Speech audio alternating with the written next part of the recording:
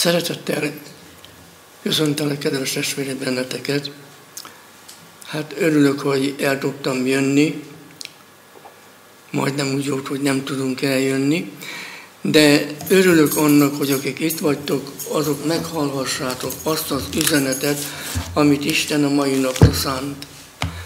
És merem hinni, hogy sajnálhassák azok, akik nem ebben az értelemben próbálják advent életüket így folytatni Jézus Krisztus mellett. Olvassuk el az alapigét, és azután lássuk, hogy mit is akar mondani Isten nekünk.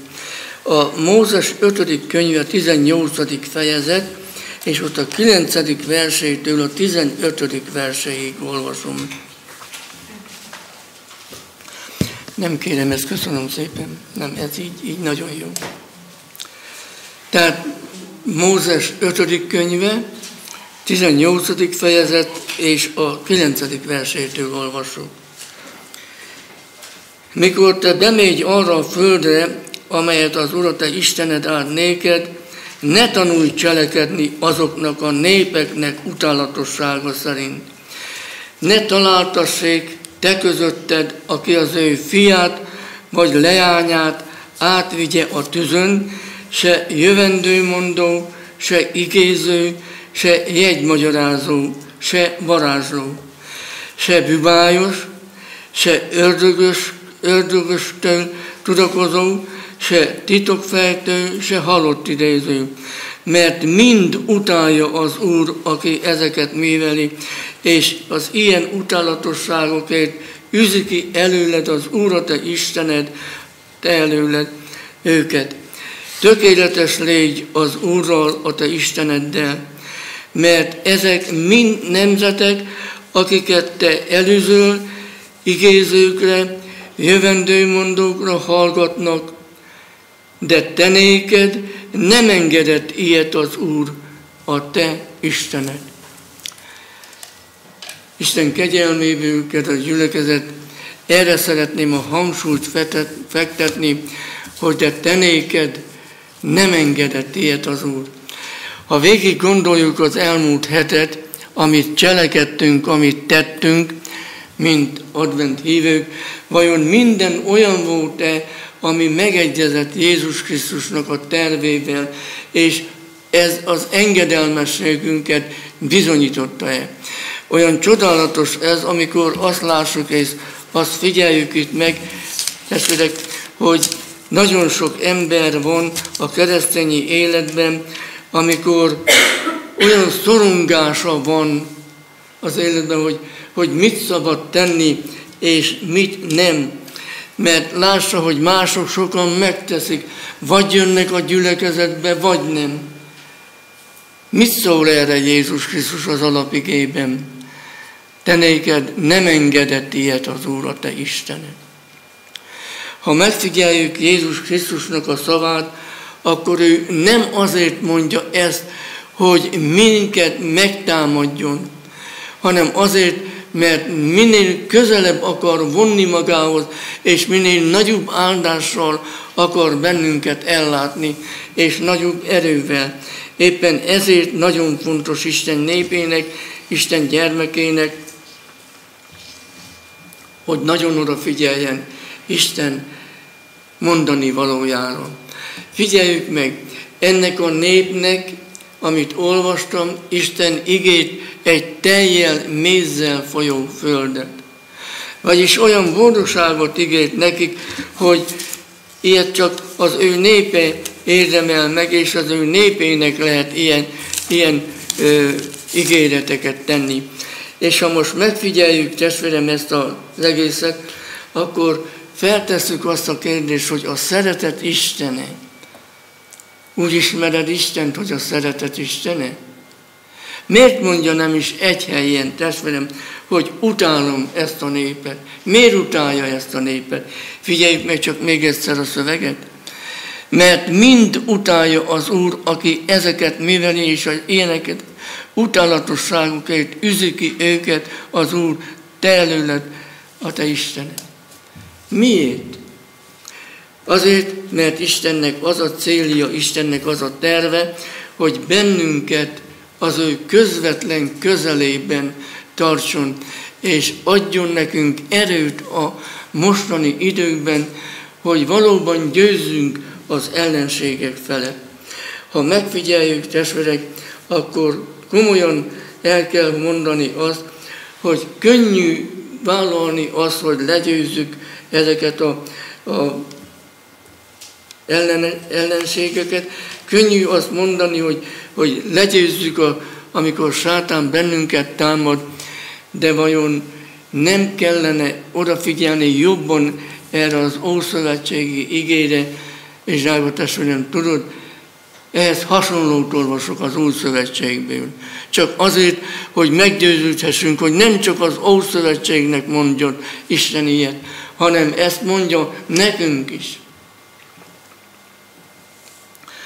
Ha megfigyeljük, akkor valóban azt lássuk, hogy mi emberek, a mi cselekedeteinkkel, a mi eljárásunkkal vagyunk Isten mellett, vagy Isten ellen.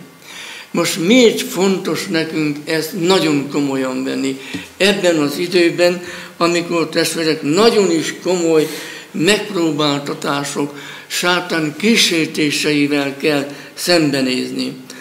És akkor, ha azt mondjuk, hogy azt lássuk, hogy az ember a maga eljárásával, tetteivel bizonyítsa, hogy Isten szerint engedelmes, vagy Istennek engedetlen. Vajon ez csak az Ószövetségben lehet ezt így mondani? Vajon ez ránk vagy a gyülekezetre nem vonatkozik?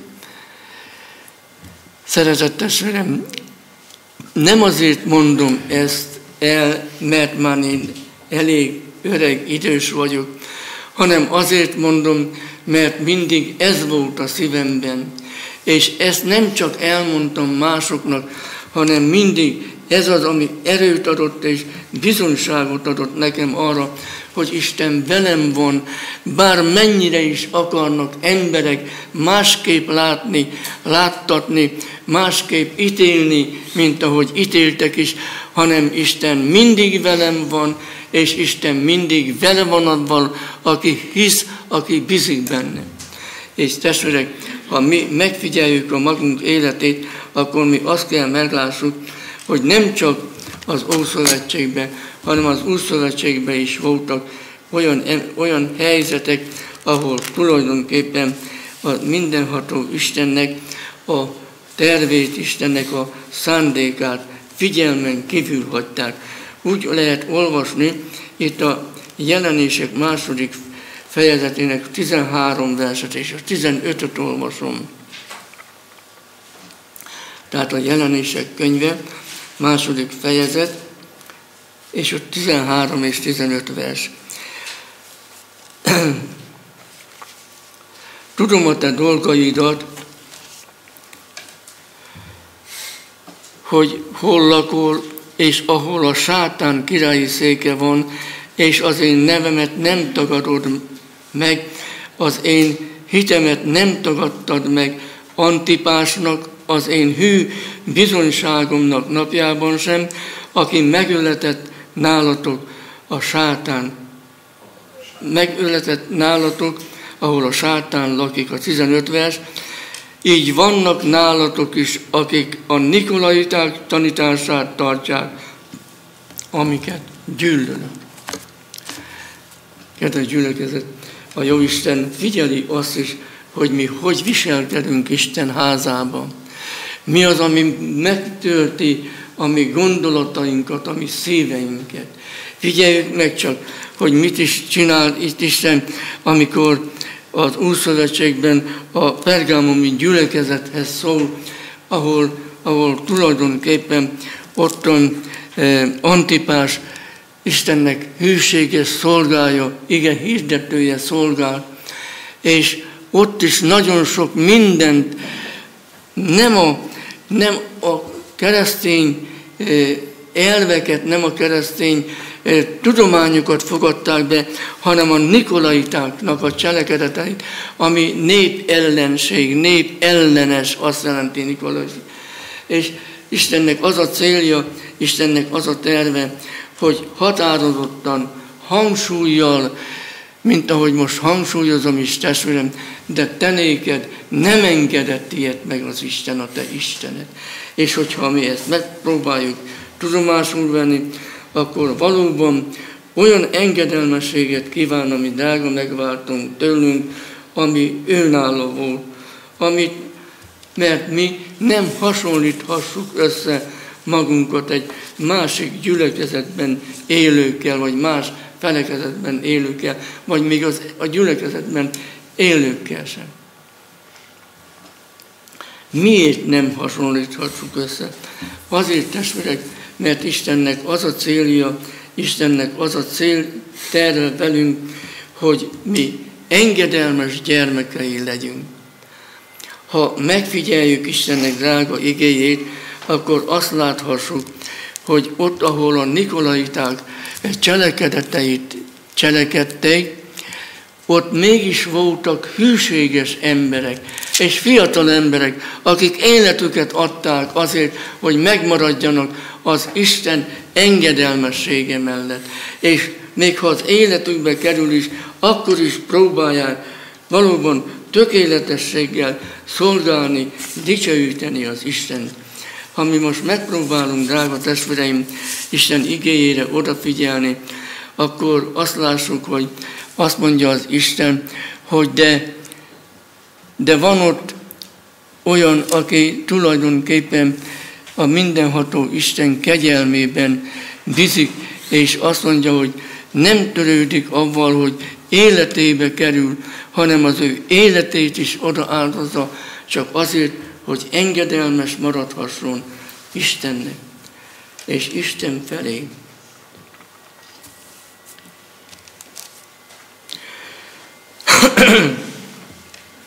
A Jóisten tulajdonává tett bennünket. Ki tudna mondani egy, egy gondolatot arról, hogy hogy tett Isten tulajdonává bennünket? Nagyon kedves vagy, köszönöm. Testvérem, az ő fiának a vére által. És azt mondja, hogy áron vétettetek meg, dicsőítsétek azért Istent a ti lelketekben és a ti testetekben. Éppen ez a legnagyobb problémája Isten népének, ahogy megfigyeljük, hogy éppen ez az, amit nem akar, amivel nincsen megszokva. De hadd mondjam, Isten igéjét sokszor el, testvérem, minél többször, és ezt nem csak nektek mondom, higgyétek el, hanem magamnak is, de te nem engedett ilyet az Úr. Érdemes megtenni, akkor, ha az Isten nem engedte meg, tessék. Nem marad ez, ez figyelmeztetéssel, nem lesz ennek következménye. És azt mondja Isten igéje, te néked nem engedett ilyet. Tehát nem csak azt, ami ott volt Izrael életében, nem csak azt, amit a, a Nikolaták életében volt, hanem Isten azt akarja, testvérem, hogy mi csak azt cselekedjük, ami Isten előtt kedves. Annál is inkább, mert Isten azt akarja, hogy mi az ő gyermekei, az ő népe legyünk. Ha megfigyeljük, testvérem, a Istennek a, a mondását, akkor azt kell megérteni, hogy a mindenható Isten valahogy azt akarja mondani, hogy lehet az életünkben megenged többször olyat, amivel nem mindig értünk egyet. De ha te megmaradsz, és ha én megmaradok Isten igéje mellett, és Isten engedelmességgel támogat engem, akkor határozottan igaz, hogy annak meg lesz a jutalma. Tudod, milyen jutalma lett Izrael népének, amikor meg, megfogadta Isten parancsolatát? Amikor nem azt tartotta, nem azt követte, amit a körülötte élő emberek követtek. Bevitte őket az, ité, az igazság földjére, a teljel és a, moz, a mézzel folyó földre, és nagyon boldogok és, és örömteljes életük volt. Na most Istennek ez, az, ez a célja, testvérem, velünk. Bár tudná ezt mindenki, mert ha valaki, aki nincsen itt, és mégis azt mondaná, hogy ő tudja, akkor ő azt csak azért mondta, hogy választ adjon egy kérdésre. Mert nagyon sok minden van olyan, amit mi nem tudunk. És az a, az a legnagyobb érdekesség ebbe, hogy Isten sok mindent megenged az mi életünkben olyat, olyan megrázkódtatásokat, olyan próbákat, amelyekkel magánál akar tartani. Ha azok, akik Istenben biztak, engedelmesek voltak, soha nem tértek el Istentől, mert szenvedés várt rájuk, hanem vállalták a halált, mert tudták, hogy Isten erőt ad nekik, és Isten beviszi őket az ígéretnek a földjére. És hogyha most ezt meg, valóban megtesszük, akkor feltehető az a kérdés, testvérem, hogy miért mondja az Isten azt, hogy te néked nem engedett meg ilyet. Másoknak megengedett? Tessék? Nagyon köszönöm. Bár testvérem, mindannyian szívünkben, lelkünkben határozottan mondanánk, hogy nem. És hogy akkor, amikor Isten ennyire jogosnak tart bennünket arra, hogy cselekedjen érettünk, akkor valóban a mi feladatunk nem lehet más, mint az, hogy Istennek a, a engedelmeskedjünk, és Isten akaratát kövessük. Sok mindent nem tehetünk meg, testvérem. És láthassuk, hétről hétre, szombatról szombatra, sokan, sokan megteszik. Hát miért mert nekik megengedte az Isten, tessék? Nem. Testvérem, egyszer ki kell mondani ezt a valóságot.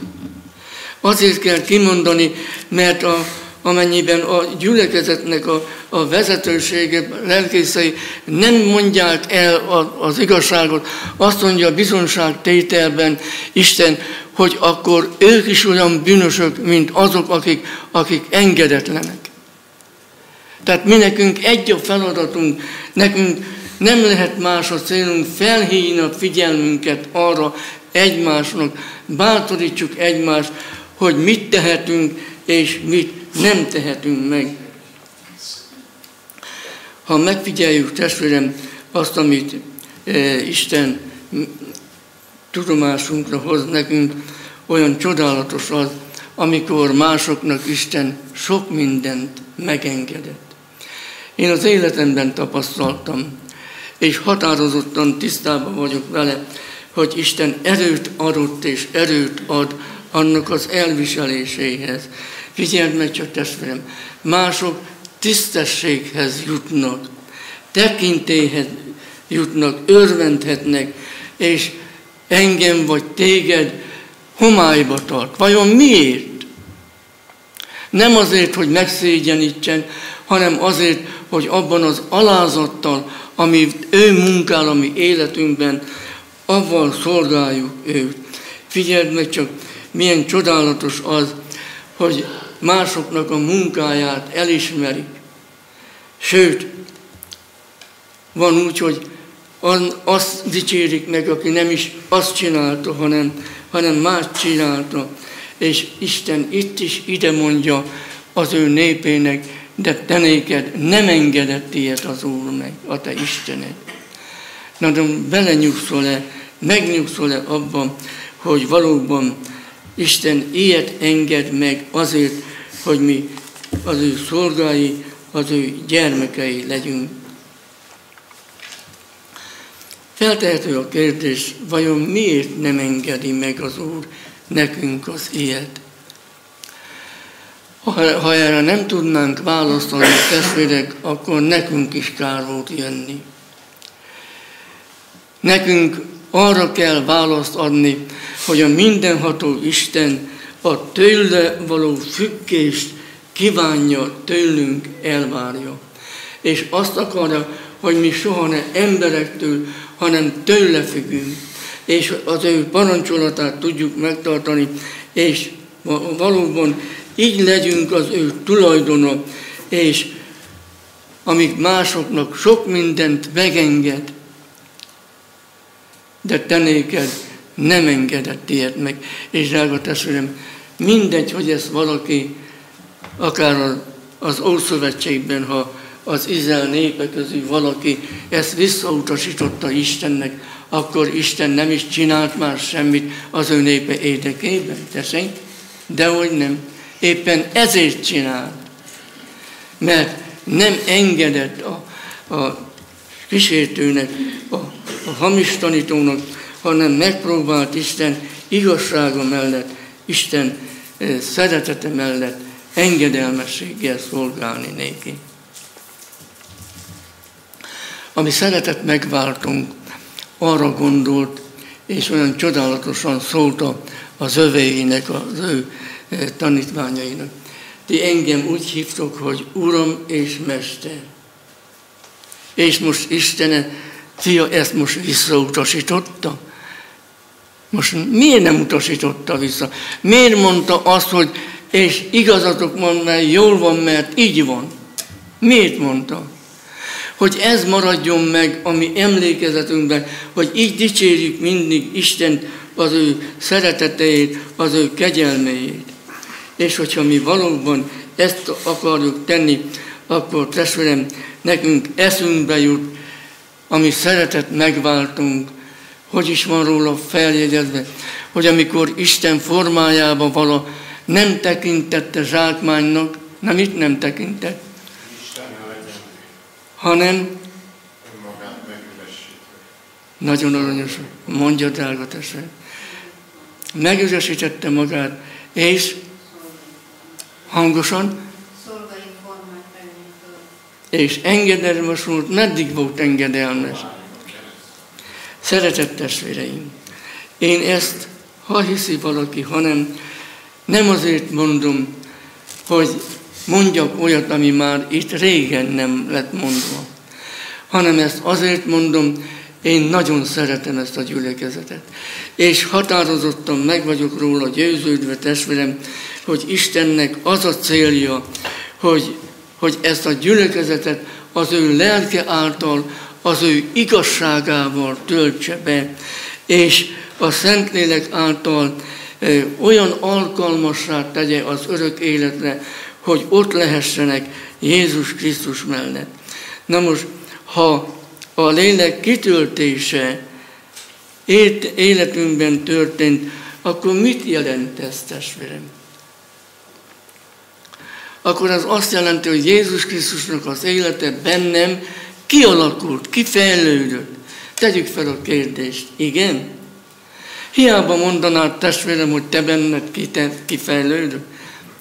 Isten előtt állítom, és Istenhez imádkozom mindig, testvérem, hogy ez fejlődjön ki. Ez volt mindig az én célom, amíg az igét hirdettem több éven keresztül, évtizeden keresztül, és Istennek az volt a célja, hogy megtartson, és valóban értesen bennünket, és hogy tudjunk mi az ő dicsőségére élni. Testvérem, hányszor imádkoztál a héten a Szentlélek kiárasztásáért, hogy az finomítsa meg, szentelje meg az életünket, a lényünket. És határozottan igaz, hogy a Szentlélek által közölt tevékeny szeretet által képesség termékenyé teszi Isten a mi életünket és a mi bizonságtevésünket is. Olvastam egy bizonságtételt, testvérem, hadd mondjam el nektek ezzel kapcsolatosan, amikor arról beszélt, hogy Jézus Krisztus nagy árat fizetett értünk. Milyen árat fizetett értünk? Hát, hogy életét adta életünk, és azt mondja, hogy ennek az árnak megfelelően értékeljük magunkat. Testvérem, nem az az érték csak, hogy itt vagyunk a gyülekezet tagjai, hanem az az érték, ha mi valóban Jézus Krisztusnak a tulajdona vagyunk, ha Jézus Krisztus bennünk él, ő vele megfeszítettünk, és ő él bennünk. Figyeld meg csak, semmit nem tehetünk, semmi szemrehányást Istennek. Egy befejező szöveget olvasott, drága testvérem, a János evangéliumának a 18. fejezetéből, és olyan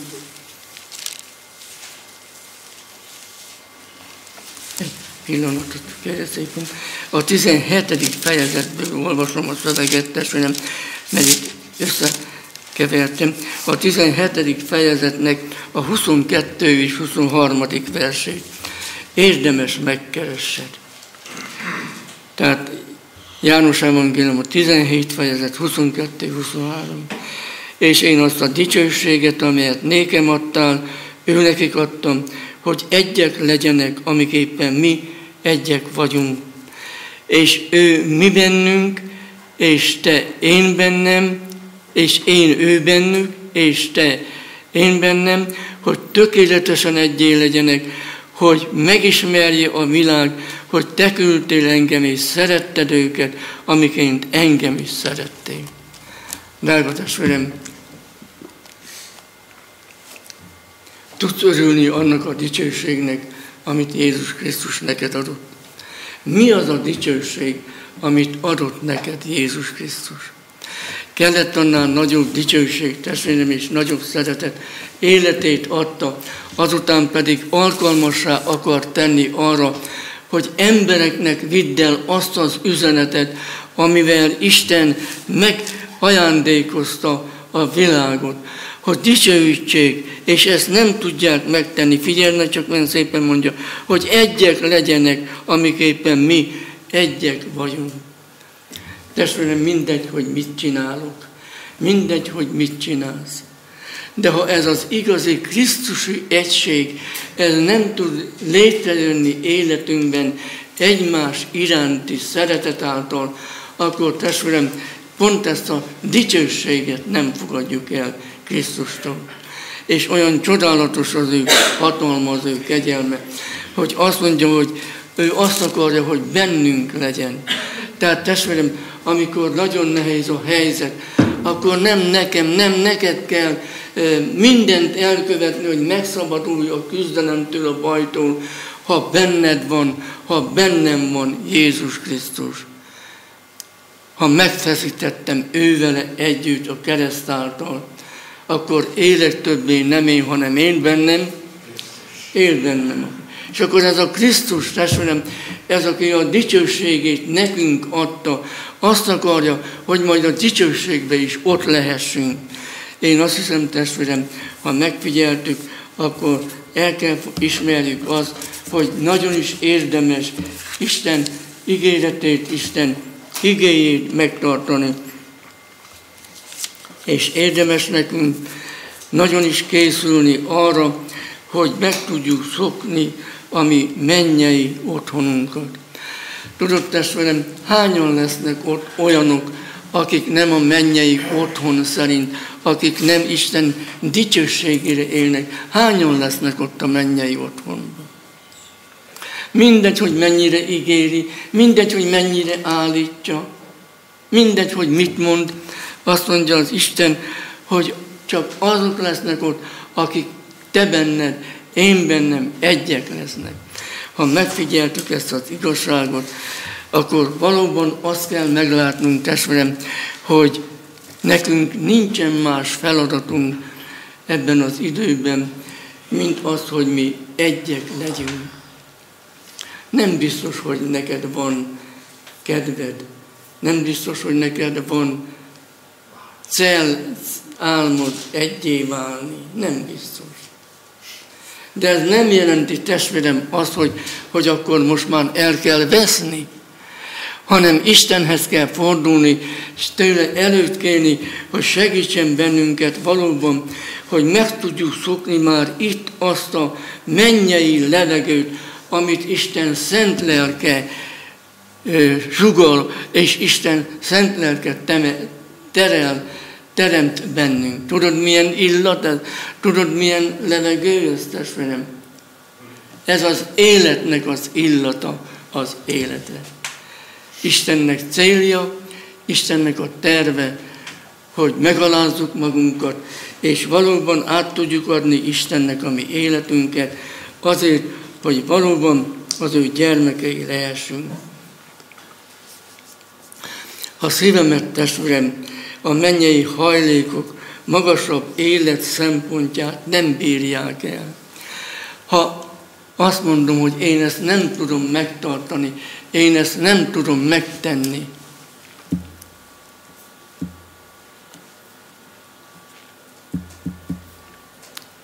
akkor Istennel szállok szembe. Nem velem, nem emberrel. Mert Isten erőt akar adni minden embernek, és Isten azt akarja, hogy a mi szolgálatunk előtte kedves legyen, és azt mondja itten, hogy megismerje a világ, hogy te küldtél engem, és szeretted őket, amik én engem szerettél. Tehát Jézus Krisztus kiharcolta, Jézus Krisztus megharcolta a, azt a harcot, azt a küzdelmet megvívta, hogy Isten nagyon szereti az ő benne hívőket, a meg, akik a megváltásban hisznek és bíznak, és mindennapi életüket tesz, azt szerint élik. És a testvérem, most valóban ezek után, amikor Isten kegyelméből megbeszéltük azt, és Isten elmondta azt, hogy neked sok mindent nem engedett meg, akkor Isten azt akarja elmondani még, hogy csak akkor lesz eredményes a mi munkánk, akkor lesz érdemes törekvésünk, harcunk, küzdelmünk, ha mi Istennek engedelmeskedünk, és mi azt nem tesszük meg, amit Isten nem engedett. Mert azt mondja, te néked nem engedett ilyet az Úr. Segítsen Isten bennünket ahhoz, velem, hogy soha ne tegyünk olyat életünkben, se a gyülekezetben, se odahaza, se gyülekezetben, sehol, amit Isten nem engedett meg, ami Istenünk. Amen.